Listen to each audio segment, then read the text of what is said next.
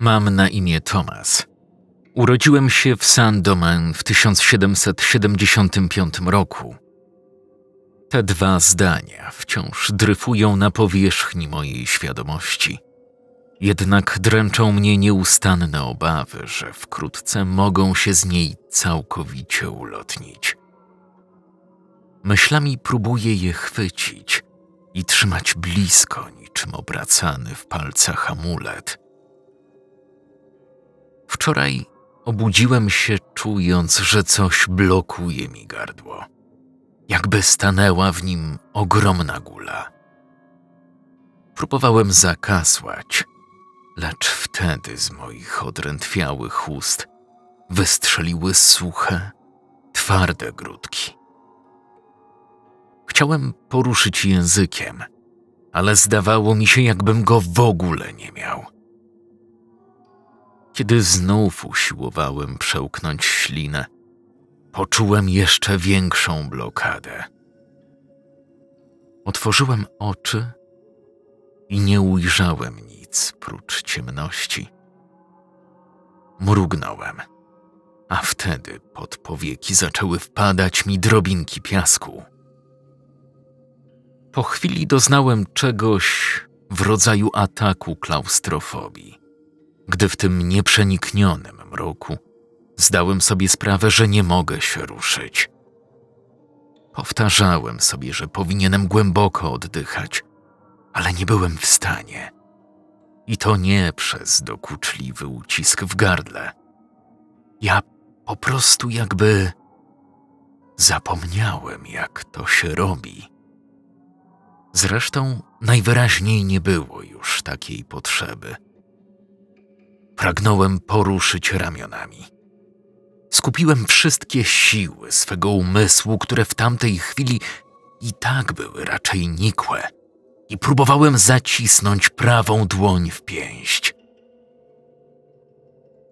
Po jakimś czasie, wybaczcie tu użycie tak niekonkretnego określenia, lecz Prawdę mówiąc, czas nie gra już dla mnie większej roli. Poczułem, jak ciemność strzepuje się z moich drgających palców. Przyjmijmy, że jakąś godzinę później dawałem już radę wykonywać drobne ruchy wszystkimi kończynami. Zdążyłem także zorientować się, że ciemność powodowana była zasypującym piachem.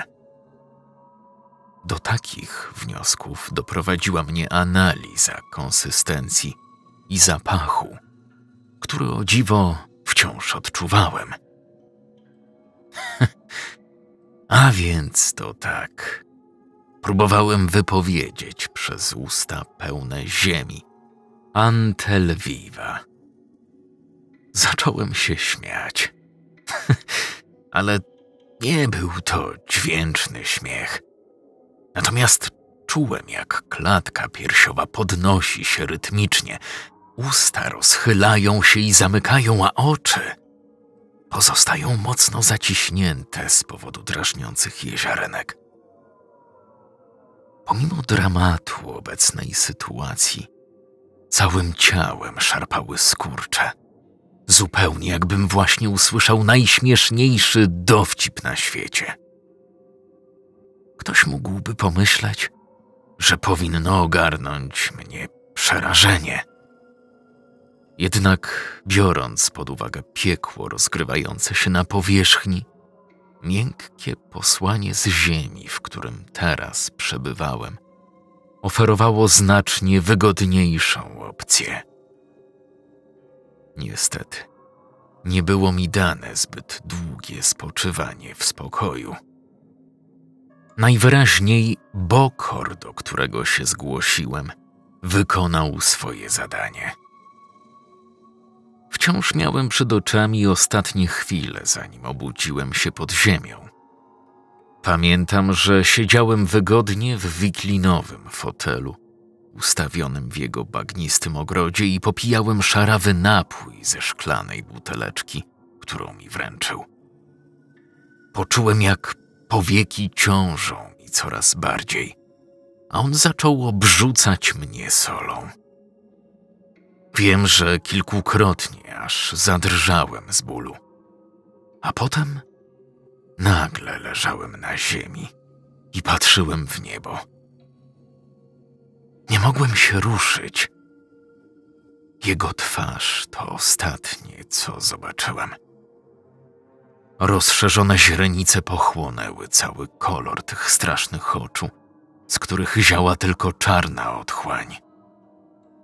Uśmiechał się do mnie, ukazując dwa równe rzędy idealnie białych zębów, które świeciły w ciemności jak neony. Jego skóra zdawała się połyskiwać w blasku gwiazd. Był piękny i potworny zarazem. Najmłodszy bokor, jakiego kiedykolwiek mieliśmy w tej okolicy. Został obdarowany naturalnymi zdolnościami, które budziły w nim arogancję, lecz ewidentnie była ona uzasadniona. Wyszeptał nade mną słowa Esklaw nanmont saa, esklaw nan pfohenan. I to był koniec. Tak właśnie znalazłem się po drugiej stronie. Nawet po śmierci moje ciało nie należy do mnie. Pozostało mi tylko mieć nadzieję, że intencje Bokora były tak samo przesiąknięte rządzą zemsty, jak moje. Mam na imię Thomas. Urodziłem się w Saint-Domingue w 1775 roku. Wczoraj wstałem ze swego grobu, pojawiając się na świecie na nowo. Wszystko płonęło. Powietrze wypełniał gęsty dym i głośne krzyki. Próbowałem skupić wzrok, ale wokół widziałem tylko niewyraźne kształty. Gdzieś w oddali majaczyła czerwono-pomarańczowa łuna. Ludzie przebiegali przy mnie, zmierzając w jej stronę. Chciałem coś powiedzieć, ale mogłem jedynie cicho pojękiwać. Wtedy przypomniałem sobie o Selewi. Moja mała siostrzyczka miała wtedy dziesięć, może jedenaście lat. Mózg zamykał mi przed nosem kolejne okna pamięci. Kiedy tylko zbliżałem się do jakiegoś wspomnienia, nagle trzask. Okienko zamykało się, a ja przyciskałem policzek do szyby, jak dziecko pragnące zabawki leżącej tuż za sklepową witryną. Selawi. Imię pochodzące od frazy Selawi, czyli takie jest życie. A żyła tak krótko. Selawi! Próbowałem krzyknąć, lecz z ust wypłynęło tylko chrapliwe chrząknięcie.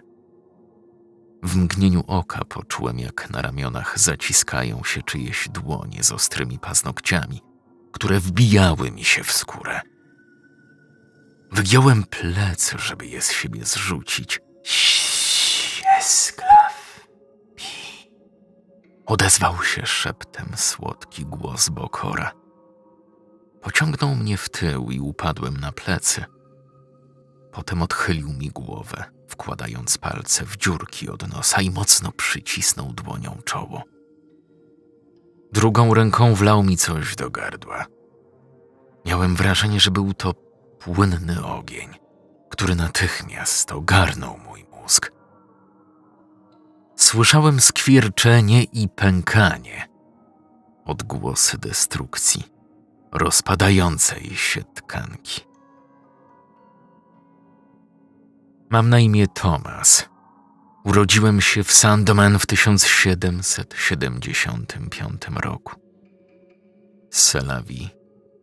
Selawi. Esklaw. Misja, którą ci powierzam, jest zgodna z twymi pragnieniami. Rante tu.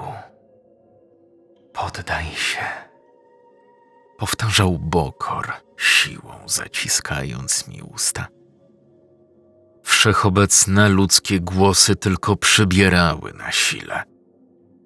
Okrzyki wojny należały do tych, którzy już się poddali. Rantetu, Salawi. Niespodziewanie w mojej głowie pojawiło się jeszcze jedno wspomnienie o niej. Może jako łaskawy dar Bokora.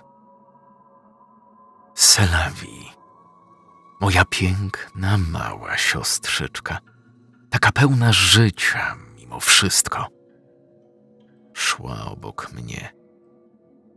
Jej śliczne, ciemne włosy wychylały się spod wystrzępionej, białej chusty. Słońce właśnie zachodziło, a my wracaliśmy do domu z pola trzciny cukrowej.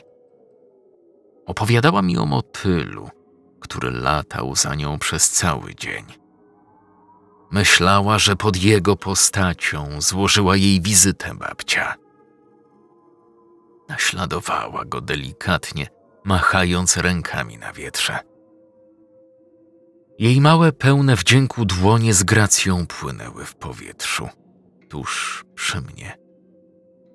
Ich cień padający na ziemię naprawdę wyglądał jak motel. I nawet pochwaliłem jej zręczność.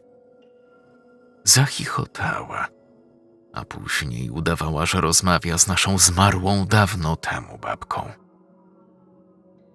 Któregoś dnia babcia po prostu padła z wyczerpania na polu. Jej ciało załadowano na taczkę i pochowano w masowym grobie. Zauważyłem ślady na dłoniach Selawi. Rany pokryte strupami wyglądały na świeże. Zupełnie jakby jeszcze kilka godzin temu leciała z nich krew. Chwyciłem jej dłoń, żeby przyjrzeć im się z bliska. Próbowała ją wyrwać i schować za plecami. Kto to zrobił? Upuściłam w błoto kilka pędów. Kto ci to zrobił? Spytałem raz jeszcze.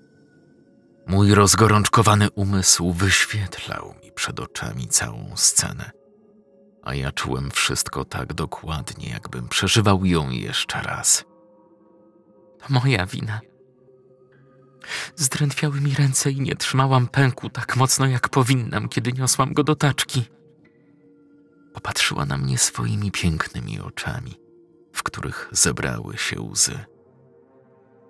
Wiedziałem, kto to był. Plantator uwziął się na Selawi. Selawi. Proszę cię, chodźmy do domu.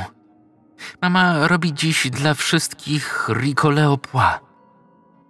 Ostrożnie zarzuciła swoje pokaleczone rączki wokół mojej szyi i wtuliła się we mnie. Nie wytrzymałem długo i mocno ją objąłem. Usiłowałem pozostać we wspomnieniu, uczepić się go i trwać w tym objęciu już na zawsze. Mógłbym tak spędzić choćby wieczność. Lecz trucizna wyżerająca wnętrze czaszki zamknęła właśnie ostatnie okno w rozpływającym się mózgu. I znów stałem się niewolnikiem.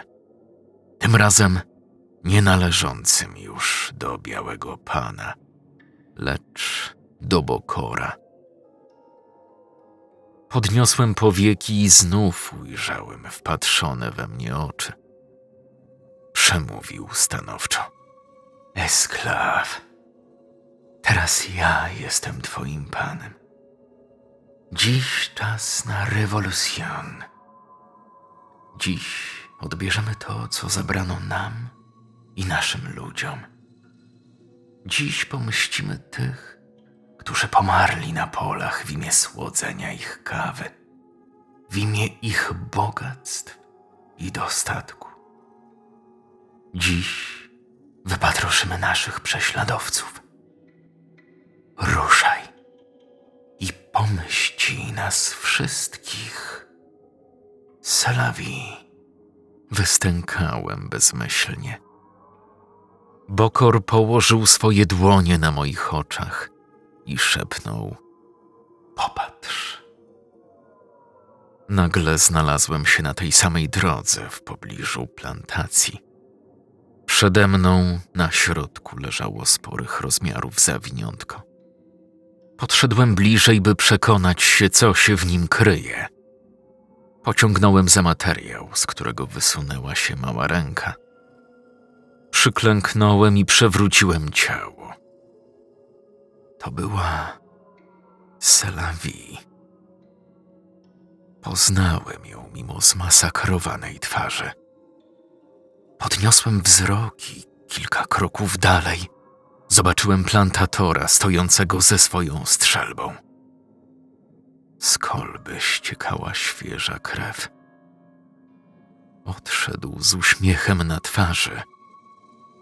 Chciałem krzyczeć, lecz z ust wysypywały się kolejne grudy ziemi. Nie ustawałem w niemym wołaniu, czując jak wybałuszone gałki oczne niemal wypadają z orbit. Nagle wielka, obślizgła żaba zaczęła przepychać się między moimi wargami. Poczułem, że się dławię. Upadłem na ziemię. Jeszcze przed chwilą byłem tam i tuliłem jej zwinięte ciałko, a, a teraz. Teraz już jej nie ma.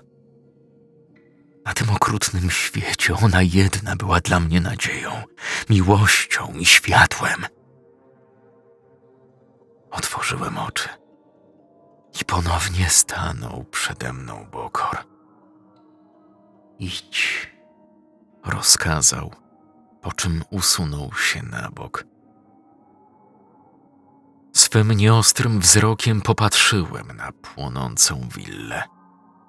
Niektórzy z byłych niewolników tańczyli z radości. Inni płakali, wpadali sobie w objęcia. Teon, starszy człowiek, którego wiele razy widziałem, bezlitośnie okładanego przez naszego pana. Strzelał teraz do białych mężczyzn i kobiet wybiegających z ogarniętego ogniem budynku. Moim zdaniem powinien był dać im spłonąć. Wszystko to sprowadziło mnie do najważniejszego zadania, które przede mną stało. Maszerowałem w kierunku domu plantatora. Zapewniam was, że nie pałał radością, kiedy zobaczył, jak wyrywam z zawiasów jego starannie zabarykadowane drzwi wejściowe. Ukrywał się, jak przystało na tchórze, bo w istocie nim był. W swoim domu oddalonym o mile od głównej willi, którą już strawił ogień. Nie przesadzam, mówiąc, że kulił się ze strachu, zasłaniając własnymi dziećmi. Jego mała córka spojrzała na mnie i mimo swej białej skóry przywiodła mi na myśl. Niestety, mój skwierczący mózg nie pozwalał na chwilę zastanowienia. Straciłem dostęp do wspomnień. Za to głośno i wyraźnie słyszałem w głowie grzmiący głos Bokora. Zabij, zabij, zabij. Chwyciłem dziewczynkę, bo stała najbliżej. Podniosłem ją za koronkowy kołnierzyk sukienki wprost do swojej twarzy. Jej matka wrzeszczała. Nagle rozległ się huk. Popatrzyłem ponad jej małą, blond głową i zauważyłem, jak gospodarz mierzy do mnie z dymiącej strzelby. Dziewczynka dotknęła mojej ręki i spojrzała swoimi dużymi, błyszczącymi oczami prosto w moje. Spuściłem wzrok i ujrzałem dziurę w ramieniu. Rana postrzałowa znajdowała się ledwie kilka centymetrów od ciała jego córki.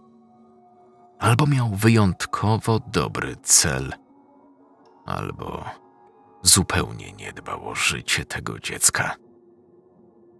Popatrzyłem w jej oczy Tak. Przypomniało mi się. Ona kogoś mi przypominała. Selawi. Warknąłem, czując w gardle nową, wijącą się gulę, która powoli pieła się w krtani. Zacząłem się krztusić, gdy poczułem, jak w moich ustach rozpycha się i wychodzi na zewnątrz ogromna ćma o niesamowicie długim ogonie. Wystawiłem język, wciąż pomrukując ze złości. Balansująca na nim ćma przez chwilę otrzepywała ciało z zabrudzeń, prezentując przy tym swe imponujące, jaskrawo żółte skrzydła. Potem uniosła się i uciekła przez okno, odlatując w stronę nieba, wysoko ponad dymem.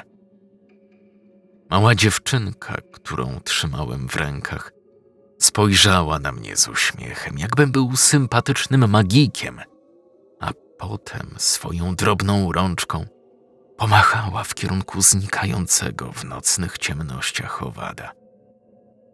Salawi. Zacisnąłem zabłocone usta i pocałowałem jej małą, jasną główkę. Odstawiłem ją do jednej z sypialni, tam gdzie nie będzie musiała wszystkiego oglądać. Bokor usiłował mnie od tego odwieść. Czułem, jak głowę rozsadzają mi jego żądne krwi rozkazy. Zabij, zabij, zabij ich wszystkich. Ale widok rąk Selawi naśladującej lot motyla wyrył się w moim mózgu na dobre, jak tatuaż. Póki jestem w pobliżu, niewinnym nie stanie się krzywda. Po umieszczeniu dziewczynki w pokoju i poinstruowaniu, w jaki sposób ma zasłonić rękami uszy, tak żeby stłumić wszystkie odgłosy, wróciłem do holu. W samą porę, by przyłapać resztę rodziny na próbie ucieczki. Chłopcu i jego matce pozwoliłem odejść. I tak zapewne zajmie się nimi ktoś inny. Jednak samego gospodarza szybko pojmałem i zawlokłem do kuchni, która została zbudowana ciężką pracą i wylaną krwią moich ludzi. Próbował mnie bić swoimi żałośnie słabymi pięściami, kiedy trzymałem go za gardło, ale niepotrzebnie się trudził. Nie czułem żadnego uderzenia. Potwór. Potwór. Oui. Au monstre. Warknąłem zadowolony.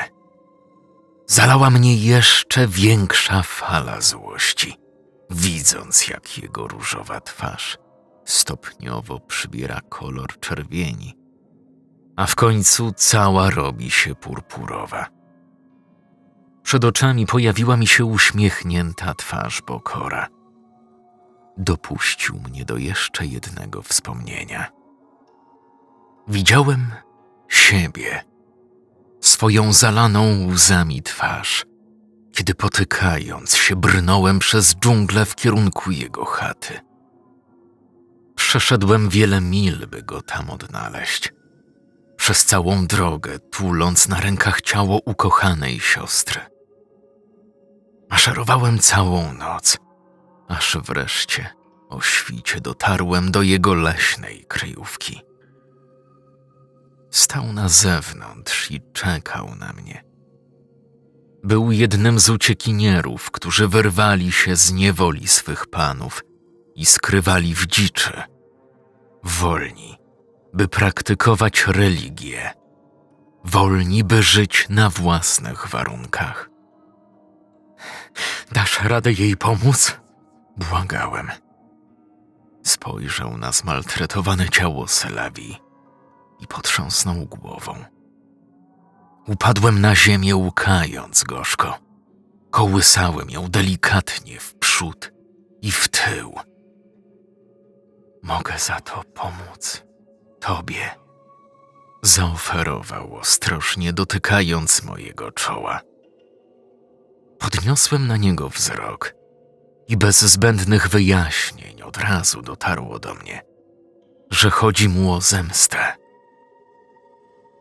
Gdy wypijałem truciznę, zdawałem sobie sprawę, że jestem jedynie pionkiem w jakiejś większej grze. Ale nie obchodziło mnie to. Zemsta Bokora była również moją. Morderstwo Selawi było jednym z wielu aktów niesprawiedliwości, których pełno było w piekle zwanym życiem. Z przyjemnością oddałem zatem swą duszę, by stać się sługą w imię odwetu. I zrobiłbym to po raz kolejny i kolejny, jeśli miałoby to zapewnić choć niewielką odpłatę za tych, których nam zabrano. Ścisnąłem szyję plantatora, która z łatwością pękała między moimi palcami. Język wypłynął mu z ust jak zdechła ryba, a oczy wywróciły się na drugą stronę, ukazując czyste białka. Nareszcie nie wyszczeka już ani jednego rozkazu więcej. Jego nienawistny wzrok miał pozostać pusty już na zawsze. Chyba, że dołączy do grona nieumarłych. Być może uczynimy go naszym nieumarłym niewolnikiem. I dzień za dniem będziemy robić z niego miazgę przez całą wieczność. Nie do mnie należało wydanie tego wyroku. Jednak miałem nadzieję, że śmierć nie pozwoli mu tak łatwo prześlizgnąć się na drugą stronę. Upuściłem jego bezwładnego trupa i wyszedłem na zewnątrz, kierując się w stronę pożogi, by dołączyć do innych. Będąc już na dworze, usłyszałem za sobą ciche kwilenie. Odwróciłem się, by zobaczyć w oknie wpatrującą się we mnie jasnowłosą dziewczynkę. Z oddali dochodziły odgłosy naszego zbliżającego się powstania. Chwyciłem ją w ramiona. Objęła mnie mocno, zaciskając wokół szyi swoje małe ręce. Cała rozdygotana. Nawet na chwilę nie przestawała płakać. Nie mogłem zostawić jej na pastwę innych, więc zabrałem ją ze sobą. Niosłem ją dłuższy czas, dopóki nie odeszliśmy wystarczająco daleko od plantacji, tam gdzie nie słyszałem już odgłosów bitwy. Zostawiłem ją nad wodą przy zwalonym drzewie. Zdołałem jakoś powiedzieć: Chowaj się. Zakryłem oczy rękami, żeby lepiej zrozumiała moje niewyraźne słowa. Desperacko uwiesiła się mojej szyi, lecz z łatwością ją od siebie oderwałem i położyłem na ziemi. Wciąż cicho popłakiwała. Pogłaskałem ją po głowie i ruszyłem w drogę powrotną. Po kilku krokach odwróciłem się jednak i zauważyłem jej jasną głowę wychylającą się z zapnia.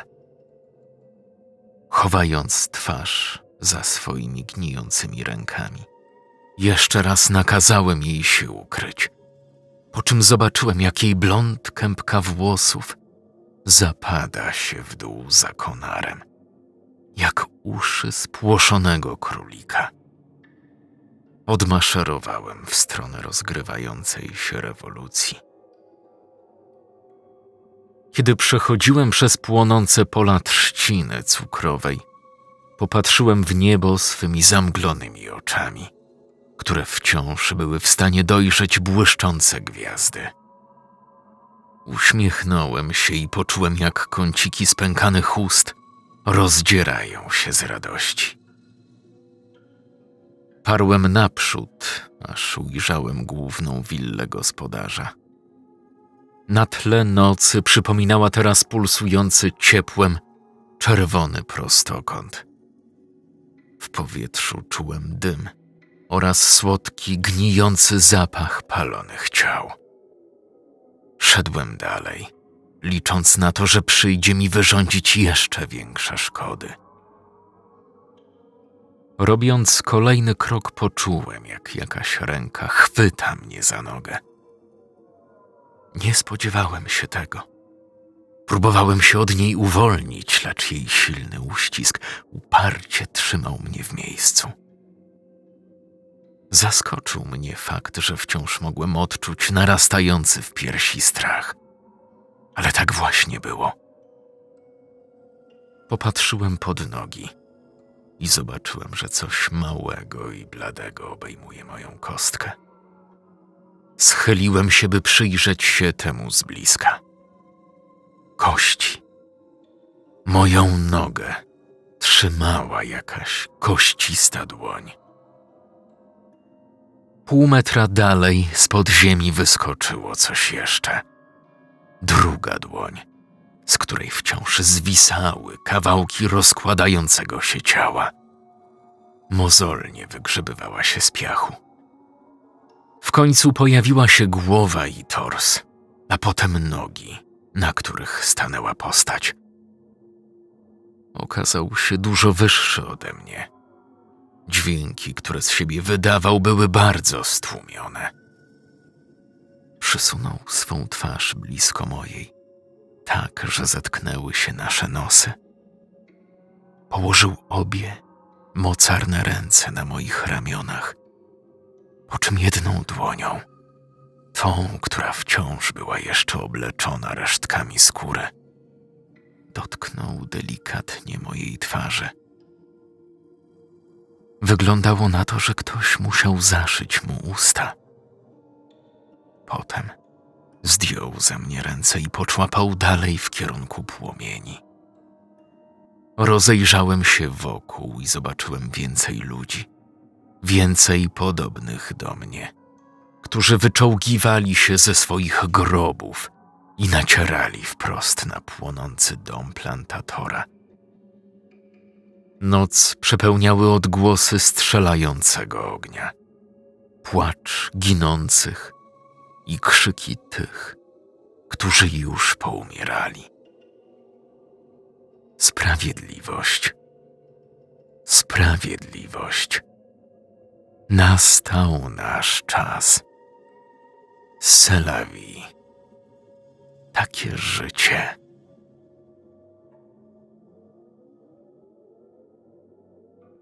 Tłumaczenie Aleksandra Rudka. Czytał Jakub Rudka.